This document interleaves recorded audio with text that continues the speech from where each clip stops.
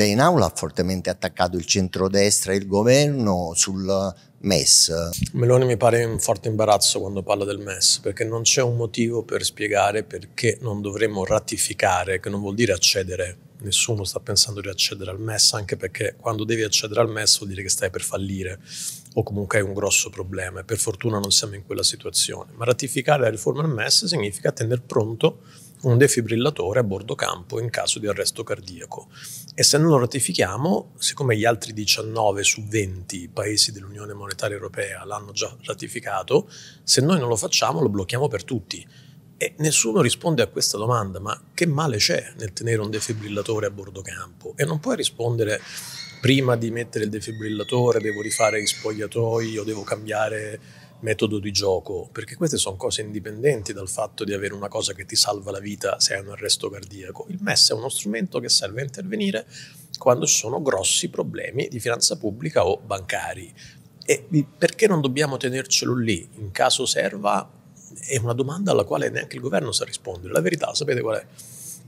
È che per dieci anni i partiti attualmente al governo hanno dipinto il MES come la strega cattiva di Biancaneve c'è sempre bisogno di un cattivo per chi non ha una propria idea vera e adesso non sanno come tornare indietro. Ma eh, quando si sta al governo non, non, si sta per raccontare favole di Biancaneve, si sta per affrontare la realtà e su questo la Meloni e chi sta al governo con lei qualche problema ce l'ha.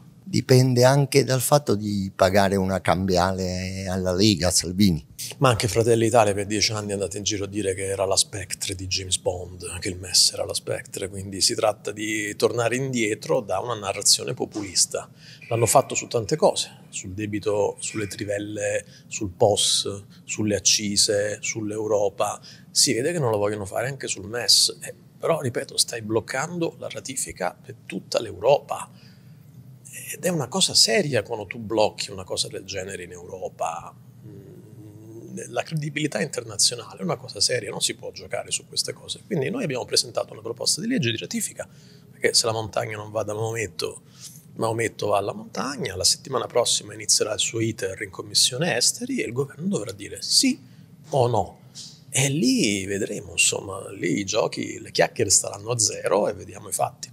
Sui temi dell'immigrazione l'Italia sembra sempre più distante dall'Europa, sono armi di distrazione di massa quelle del governo oppure c'è un problema di gestione? No, il problema dell'immigrazione è un problema vero, ma è un problema di portata immensa. Il problema è stato in Italia averlo gestito come tema di campagna elettorale negli ultimi dieci anni, anche qui, ma il tema delle, delle migrazioni ora e nei prossimi decenni è un tema che andrebbe affrontato con tutt'altra postura rispetto a oddio, oddio, ci invadono, blocco navale o le scemenze che abbiamo sentito in questi anni. Quindi il problema c'è.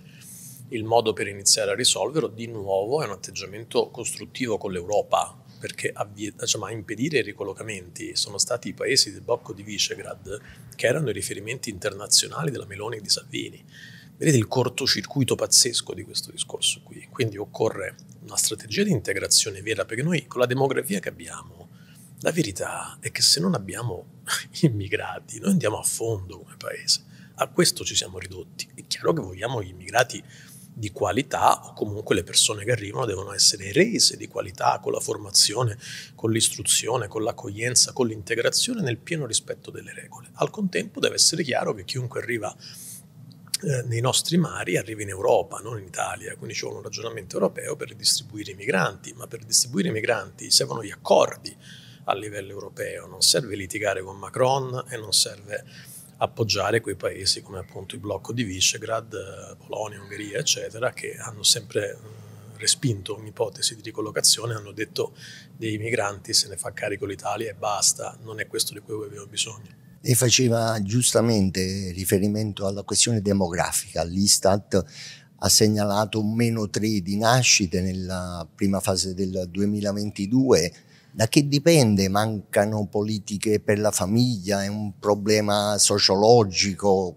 come se lo spiega? Sicuramente le politiche per la famiglia sono un punto debole che è stato solo parzialmente risolto con l'assegno unico. L'assegno unico universale è una battaglia storica di Italia Viva, di Elena Bonetti, ha fatto una rivoluzione, questa è una citazione del presidente Draghi, che l'ha definita una rivoluzione, cioè abolire tutti i microstrumenti e crearne uno per tutti, stabile, forte, è stata una rivoluzione Sicuramente non basta, sicuramente serve una rete di servizi per l'infanzia, una rete per l'occupazione femminile, per far sì che una donna possa essere mamma e lavoratrice allo stesso tempo. C'è un sacco di cose che la politica può fare.